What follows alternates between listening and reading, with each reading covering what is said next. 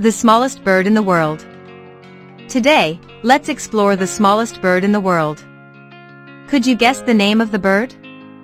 Yes, you are right. It's the hummingbird. But, could you guess the hummingbird type and its weight and size? Um, that might be a little challenging. You would be surprised to know that. There are more than 300 species of hummingbirds. Hummingbirds are unique creatures in the world and surprise us in all possible ways. Let's talk about the 10 surprising hummingbird facts we find interesting.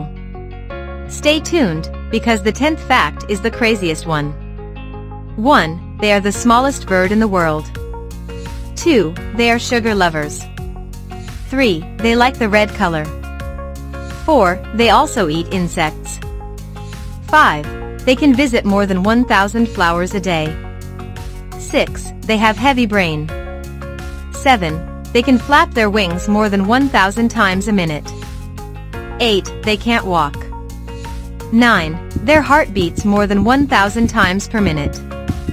And the last craziest fact is that 10. Hummingbird eggs are smaller than soybean seeds.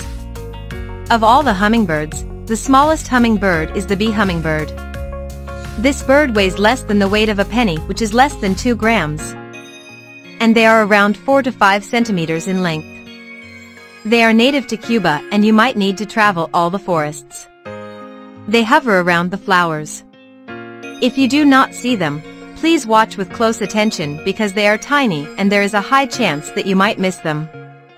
If we miss any interesting facts about the hummingbird please let us know in the comments. Thank you so much for watching this video.